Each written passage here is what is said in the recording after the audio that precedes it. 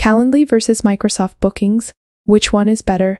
Choosing the right scheduling software can significantly impact business efficiency, especially for service based industries. Calendly and Microsoft Bookings are two top contenders in this domain, offering distinct features and advantages. Calendly, a powerful scheduling tool, simplifies appointment setting by replacing phone calls and emails. It's ideal for various appointments, demos, and calls, allowing easy guest customization for workshops and webinars.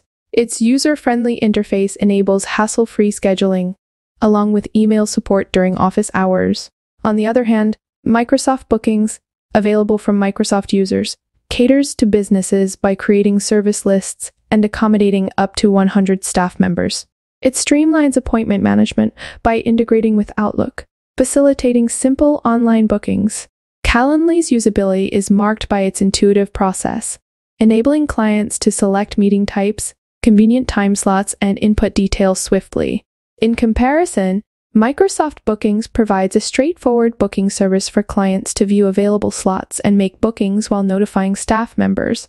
In terms of customization, Calendly offers extensive control over schedules and preferences, allowing limit settings and personalized branding.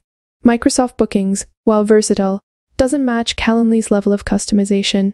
Pricing wise, Calendly offers various plans, from a free version to tiered paid subscriptions, each unlocking more features.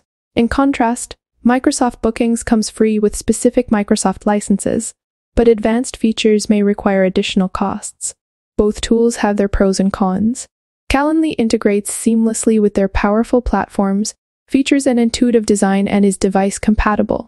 However, its free version has limitations and it lacks clarity regarding customer responses. Microsoft Bookings stands out for its ease of use, cost effectiveness for Microsoft users, and user friendly setup. Yet it has limited integration options beyond Microsoft tools and a moderate learning curve. While both platforms are commendable for scheduling, considering Trafft as an alternative is recommended for a more comprehensive and cost effective solution. Trafft's customization, group scheduling, and pricing make it a competitive option compared to Calendly and Microsoft Bookings. Ultimately, the choice between Calendly and Microsoft Bookings should align with specific business needs, but exploring Trafft could offer a more robust scheduling solution. I hope this video was helpful. Thanks for watching.